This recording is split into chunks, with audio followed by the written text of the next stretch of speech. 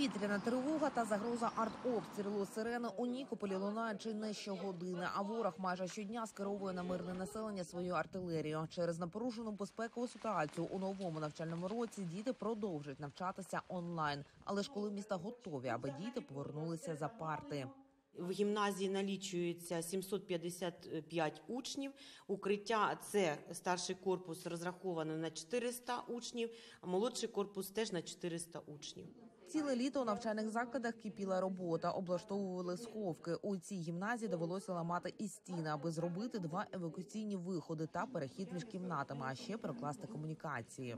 Це в нас опалення. Ця труба в нас була на цьому рівні, тобто неможливо було пройти, тому повністю його підняли для того, щоб було зручно і доступно метр вісімдесят на сьогоднішній е, день дозволено.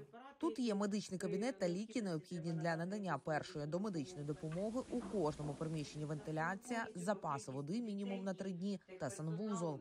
Встановлена система вентиляції, повністю у нас є вода. Також у нас працюють вся каналізація. А от стіни в умовних класах в укритті розмальовували самі вчителі, школярі та їхні батьки. Одна зона це для для педагога-психолога, а, щоб можна було дітям надати якусь допомогу. Знаєте, буває стресові ситуації. Потім ми перетворили цей кабінет математики, де є, ви бачите, сюжетні такі малюнки, де дитина навіть може, граючи з, з, з цим зображенням, знайти цифри від 1 до 10. Тобто для дітей буде це, це цікаво.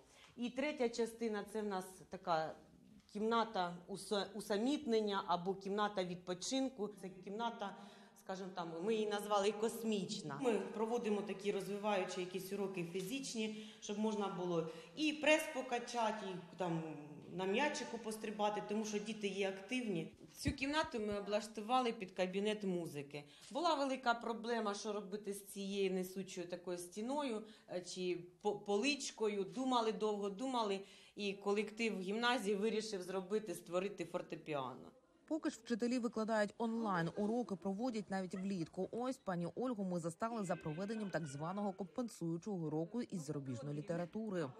Це компенсуючі уроки надолуження освітньої програми в зв'язку з тим, що були і обстріли, і деякі предмети, може, там десь щось не вичитались. Тому зараз ми надолужуємо цю програму. Діти можуть задати питання, ми можемо пройтись по минулому матеріалу. У новий навчальний рік Нікополь входить із 12 тисячами школярів. За словами профільного департаменту, освітяни усі залишаються на своїх місцях. На сьогодні працюють до 900 викладачів. Браку педагогічних кадрів ми зараз не відчуваємо. Освітній процес будемо розпочинати в дистанційній формі. На жаль, е, до поліпшення безпекової ситуації. До початку активних бойових дій в місті Нікополі перебувало е, майже 12 тисяч школярів.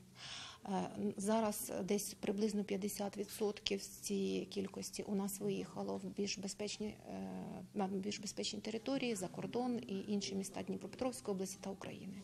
Але тим не бе- менше Вони продовжують- приєднуються так. Вони приєднуються до е, дистанційних уроків. У Нікополі укриття облаштувало у майже всіх 26 навчальних закладах. На це з міського бюджету витратили більше 5,5 мільйонів гривень. Ми підготувались до е, початку навчального року. Якщо буде така можливість і учні зможуть прийти е, до шкіл, то ми до цього готові. Але головна умова ворожа артилерія не має доставати до мирних населених пунктів Нікопольщини. З Дніпропетровської області Олена Медалюк, Ігор Лисковець, подробиці телеканал Інтермарафон. Єдині новини.